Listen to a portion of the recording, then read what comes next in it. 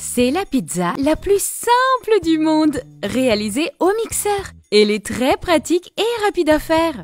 Dans un mixeur, je vais casser deux œufs, ajouter une demi-tasse d'huile, une tasse de lait,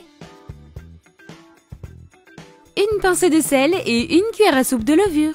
Maintenant, je vais mélanger le tout.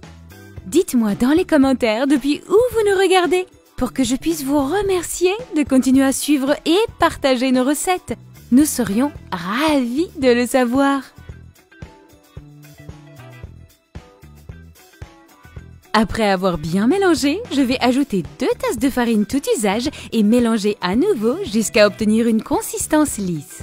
Si votre mixeur n'est pas très puissant, je vous recommande d'ajouter la farine de blé petit à petit.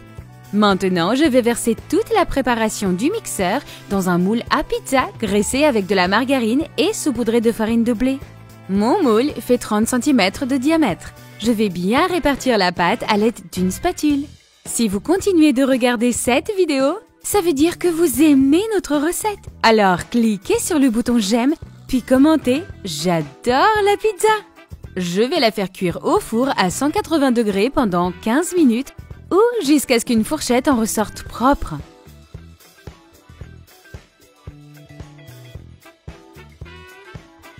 Maintenant, nous allons garnir la pizza.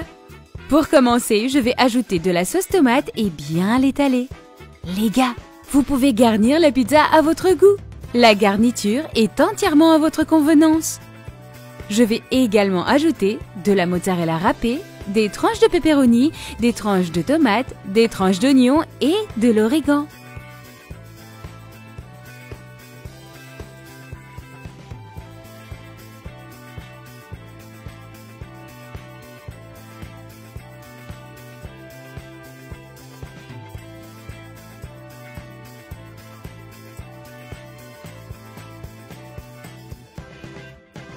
Enfin, je vais faire cuire à 180 degrés pendant 15 minutes. Et voilà, c'est prêt Regardez comme ça a l'air délicieux Faites cette recette chez vous et revenez nous dire dans les commentaires ce que vous en pensez. Je suis sûre que vous ne le regretterez pas. J'espère vraiment que vous avez aimé notre recette.